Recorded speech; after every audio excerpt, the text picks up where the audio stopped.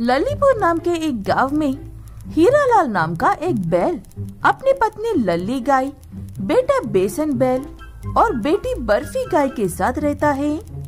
हीरालाल की माँ मरने से पहले उसे ये बात बहुत अच्छे से सौ बार समझाकर मरी थी कि बेटियाँ किसी काम की नहीं होती है। शादी करके अपने घर चली जाती है। एक बेटा ही होता है जो वक्त पर माँ बाप के साथ रहता है। इस बात पर हीरालाल को तब यकीन होता है जब उसकी बहन किसी दूसरी बहुत बड़ी समस्या की वजह से अपनी माँ के अंतिम संस्कार पर भी नहीं आ पाती है। इसीलिए मेरे बेटी की हर ख्वाहिश पूरी करना मेरी ज़िम्मेदारी है और जब वक्त आएगा मुझे संभालना उसकी ज़िम्मेदारी है। सिर्फ़ सौ रुपए ही तो मांगे हैं। क्यों ऐसा कर रहे हो? वो भी तो तुम्हारी बेटी है। वो बिना वजह खर्च करने के लिए तोड़ी मांग रही है। कौन कह रहा है उसे पढ़ने के लिए? घर के काम वाम सिखाओ। कुछ ही सालों में शादी करके बेच देंगे। अभी पढ़ाई का खर्चा तब शादी का खर्चा। ये तो हमें लूटने के लिए ही जन्म लेती है। बर्फ़ी बिना कुछ कहे उदास होकर अपने कमरे में चली जाती है। लल्ली भी इस उल्टे बैल से क्या बहस करना कहकर वहाँ से चली जाती है। लल्ली उसे घर चलाने के लिए मिले हुए पैसों में से थोड़े थोड़े से पैसे बचाकर बर्फ़ी को पढ़ाती रहती है। बर्फ़ी के पास पढ़ने का कोई भी साधन सही नहीं है। फिर भी वो हमेशा क्लास में फ़र्स्ट आती है और बेसन के पास सब कुछ होने के बावजूद भी हमेशा आखिरी आने का रिकॉर्ड बनाकर रखता है अपना। कभी तो अच्छे नंबर लेकर आया कर नालायक। पाँच क्लास में आ गया है और तुझे अभी तक एबीसीडी भी नहीं आते हैं। ये सब तेरे पिता के नखरों की वजह से हो रहा है। तो फिर उन्हीं से कहो ना माँ। मेरा दिमाग क्यों खा रही हो? आपको और कोई काम नहीं है क्या करने को? ये क्या तरीका है बड़ों से बात करने का? कहीं से सीख कर आ रहा है ये ऐसी बातें? लल्ली क्यों उसे परेशान कर रही हो? ठीक से बात करना भूल गई हो क्या तुम? ऐसे हीरा लाल हमेशा लल्ली को ही चुप करवाने की वजह से लल्ली को बिल्कुल भी अच्छा नहीं लगता है और वो अपनी बेटी को लेकर अलग रहने का फैसला करती है। इस बात पर भी हीरालाल उन्हें कुछ कहकर मनाने की बजाय ऐसे हंसकर जाने को कहता है। मैंने कब से एक ही बात कहता आया हूँ, ये बेटियाँ सिर्फ़ खर्चा करवाती है, बाकी किसी की काम की नहीं है।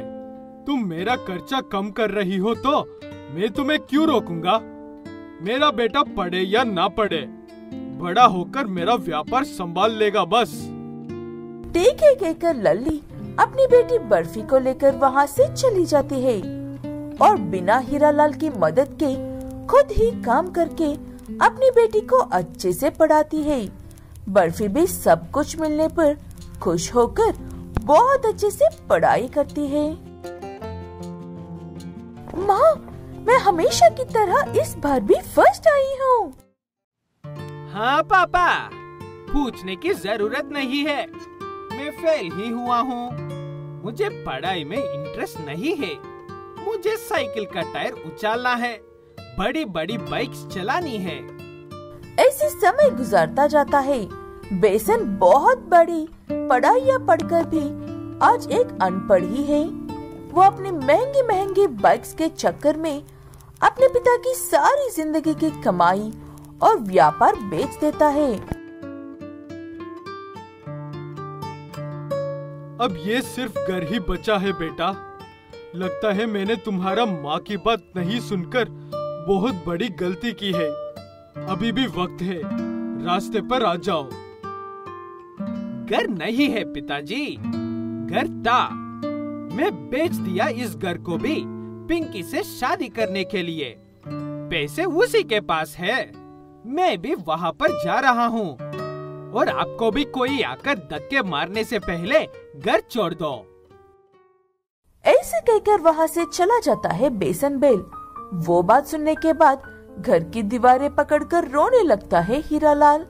तभी वहाँ पर बर्फ़ी और लल्ली आते हैं।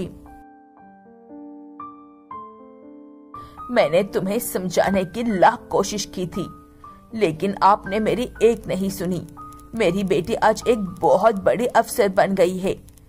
ये बात सुनकर अपने बेटे को नालायक मत समझना। तुम्ही ने उसे ऐसे बनाया है वरना वो भी आज कोई अच्छा काम कर रहा होता। तुम सही कह रही हो लल्ली। सारी गलती मेरी ही है। मैं ही अंधा हो गया था। मुझे माफ़ कर दो तुम दोनों। लल्ली और बर्फ़ी कहते हैं कि वो घर उन्होंने ही खरीदा है तो कहीं पर भी जाने की ज़रूरत नहीं है। तब से वो सब मिलकर एक परिवार की तरह अच्छे से रह सकते हैं। चिमपुर नाम के एक गाँव में चीनी नाम की एक गर्भवती गाय अपने पति पुटिन बैल के साथ रहती है। पुटिन एक बहुत ही गरीब बैल है। गुजारा करने के लिए उसे हर रोज मजदूर करना ज़रूरी है। इसलिए पुटिन हर रोज काम के लिए गाँव में भटकता रहता है। चीनी मैं काम ढूँढने के लिए जा रहा हूँ। जो भी बचा है तुम खाकर अच्छे से आराम कर लो। मैं आज बिना काम किए लौटकर नहीं आऊँगा। मुझे कौन सा मेहनत करना है जी घर में रहकर? दिन भर काली ही तो पड़ी हुई रहती हूँ। आप कालो पता नहीं आज कैसा काम मिलेगा। मुझे तो सोचकर ही डर लगता है। मुझे इन सब का आदत है चीनी और तुम्हें भी होगी। लेकिन फ़िलहाल तुम्हें अपना और बच्चे दोनों का ख्याल रखना है। इसीलिए खुश रहो। मैं शाम को लौट कर आऊँगा। ऐसे कहते हुए पुटिन काम के लिए गाँव में निकल जाता है।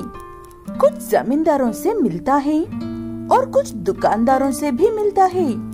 लेकिन कहीं पर भी बात नहीं बनती है उसकी। तब और किसके पास जाऊँ कहकर परेशान हो रहे पुटिन को एक आवाज़ सुनाई देती है। अरे पुटिन, तुम यहाँ पर? मैं तुम्हें ही ढूंढ रहा था। ये काम है, करोगे ना? आपका बहुत बहुत शुक्रिया है भाई साहब। मैं कितनी भी मेहनत करने को तैयार हूँ, बस काम खत्म होते ही पैसे दे दो। सो चावल का बोरिया है और पांचवे माले पर रखना है। काम जितनी जल्दी खत्म करोगे, उतनी जल्दी पैसे लेकर जा पाओगे। ठीक है, कहकर पुटिन बैल जल्दी से अपना काम शुरू कर देता है और चाहे कितनी भी थकान हो या कितनी भी मुश्किल हो, शाम होने से ठीक थोड़ी देर पहले अपना काम पूरा कर लेता है। तुम्हारी हिम्मत के जवाब नहीं पुतिन। ये लो, मेरी तरफ़ से एक सौ रूपए इनाम। भैया जी मेरा एक सवाल है। गलत मत समझना, लेकिन इतनी सारी चावल के बोरिया, इतनी ऊँची बिल्डिंग पर रखवाने की वजह क्या है?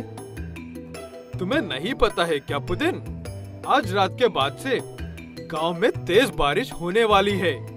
इसीलिए मैंने सारे चावल ऊपर रखवा दिए हैं। अब कवर से ढककर गाँव से बाहर चला जाऊँगा।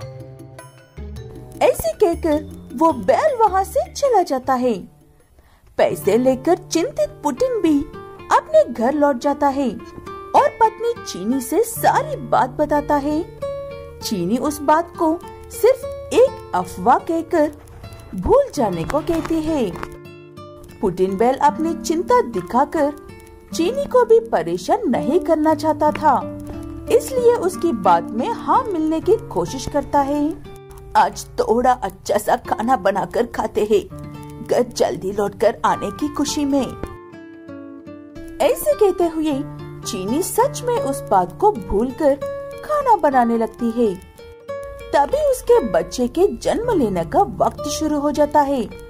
घबराया हुआ पुटिन पास ही में दो घर बाद रहने वाले उसके भैया और भाभी से मदद मांगने के लिए जाता है। बस थोड़ा सा सबर कर लो चीनी। मैं भैया और भाभी को लेकर आता हूँ। भाभी तुम्हें मदद करेंगी। ऐसे कहकर बाहर निकले पुटिन को घर के बाहर तेज बारिश का सामना करना पड़ता है और दो घर पार होकर भैया के घर पहुँचने तक पानी घुटनों तक पहुँच जाता है। पुटिन तू यहाँ पर क्या कर रहा है? चीने कहाँ पर है? वो ठीक तो है ना? नहीं भैया वो ठीक नहीं है। उसे बच्चे होने वाला है और मदद के लिए कोई भी नहीं है। इसीलिए मैं आपके पास मदद के लिए आया हूँ। ठीक है कहकर पुटिन का भाई और भाभी अपने घर के सामान को ऐसे ही छोड़कर पुटिन की मदद करने के लिए जाते हैं। इस घर से उस घर पहुँचने तक पानी का बहाव और तार बढ़ जाता है। भैया मैं एक पाँच मंजिल की बिल्डिंग को जानता हूँ। वहाँ पर अच्छा प्लास्टिक का कवर भी है। बाबी और चीनी को अपनी रेडी पर बैठा कर वहाँ पर ले जाता हूँ। यहाँ पर रहे तो डूबकर मर जाएँगे। ठीक है कहकर पुटिन बेल और उसके भैया बड़ी मुश्किल से चीनी को रेडी पर बिठाकर खुद आधे डूबे हुए। रेडी को पंख में खांधों पर उठाकर उस बिल्डिंग पर लेकर जाते हैं। वहाँ पर पुटिन के बच्चे का जन्म होता है और सब एक चैन की सांस लेकर तूफ़ान के खत्म होने के इंतज़ार करते हैं।